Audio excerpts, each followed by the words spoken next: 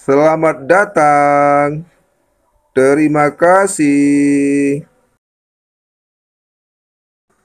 Assalamualaikum saudaraku. Mungkin Anda sedang dalam keadaan kurang selera makan. Mari kita lihat-lihat sejenak rumah makan Kuteraja Second ini di Banda Aceh. Mudah-mudahan bertambah selera makan kita.